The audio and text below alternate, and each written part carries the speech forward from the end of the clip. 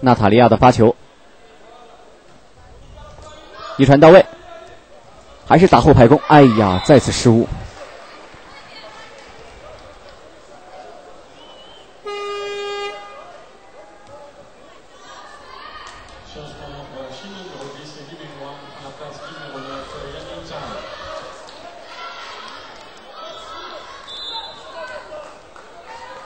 中国队再次将王一梅换上，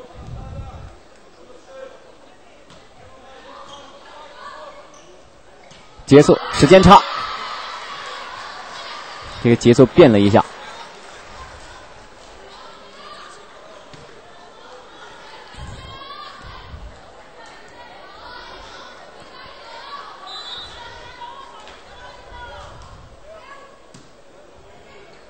然后又打背飞。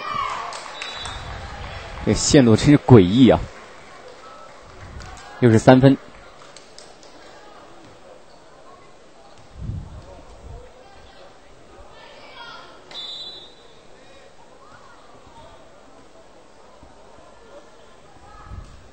发前区，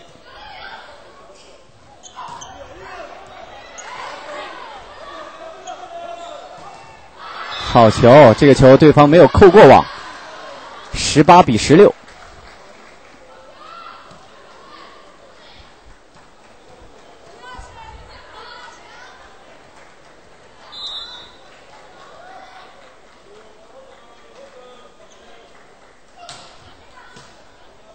对方发球冲网，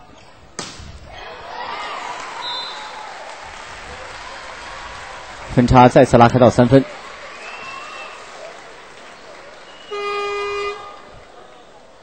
中国队换人，换上徐云丽，换下马运文。这场比赛，中国队所有的队员都获得了上场的机会。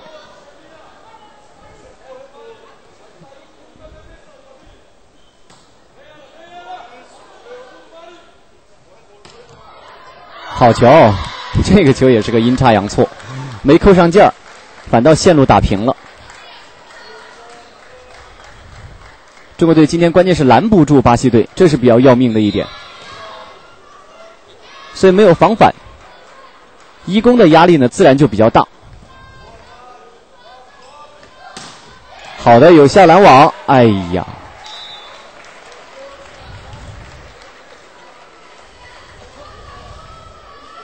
又是三分。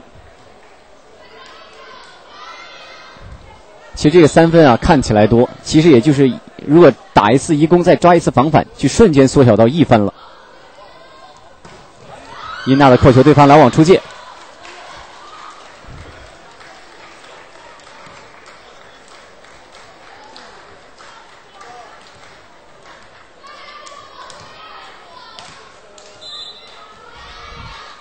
嗯，蔡指导也是提示魏秋月不要过于集中在二三号位。一定要拉开了打，啊！对方失误。好的，中国队把比分缩小，分差缩小到一分。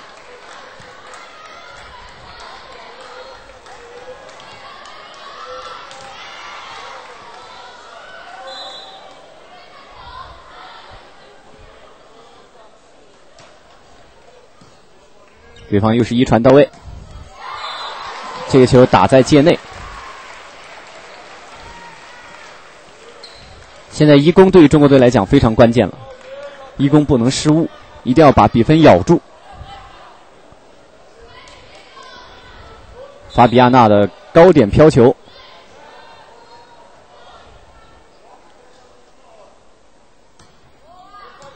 好球，一传不错，保护不错，再给四号位，有效拦网。中国队还有机会，再给后排进攻。好球，惠若琪的后排进攻，对方拦网出界，中国队咬住比分。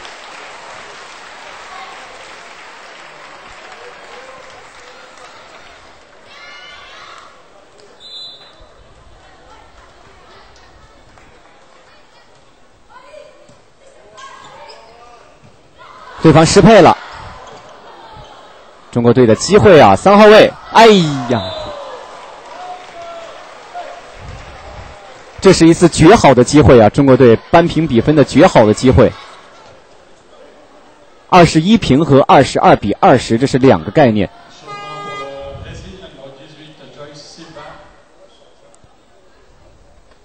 巴西队换人，换下了二号高仓千惠美，换上了十八号卡米拉，换上一个队员在前排来加强拦网。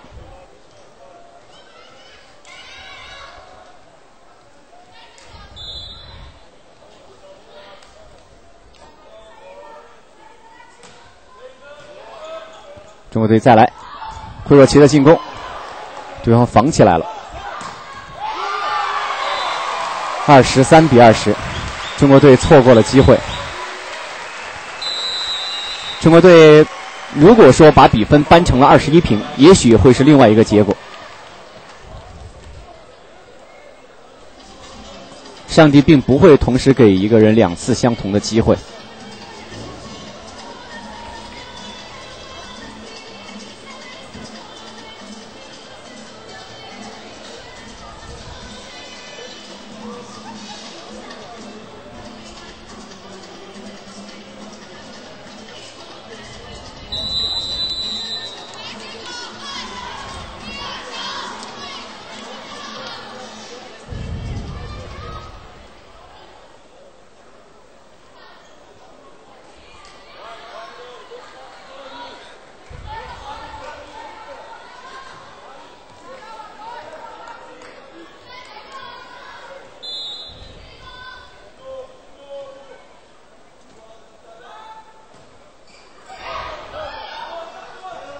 好球！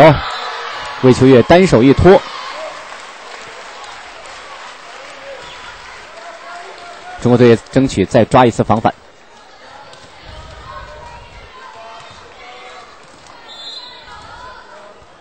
现在王一梅的发球是中国队的一个强发球轮，看他能否顶得住。好球，好球！中国队的机会，保护好，再给惠若琪。被拦住了，二十四比二十一。其实中国队真的是有机会在这场比赛当中，但是这是年轻的中国队必须交出的学费。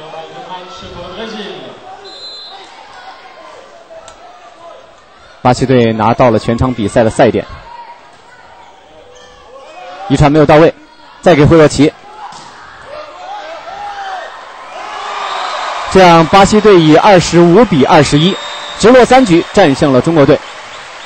但是这场比赛呢，并没有影响到中国队的晋级，中国队依然可以进入到四强当中。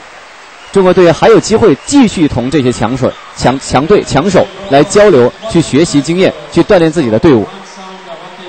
对于新的女排来讲呢，这样的比赛取胜并不是终极的目标，而是要去找出自己的差距。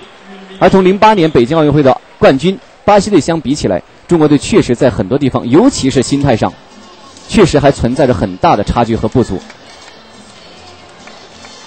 历史呢，把这一代的中国女排。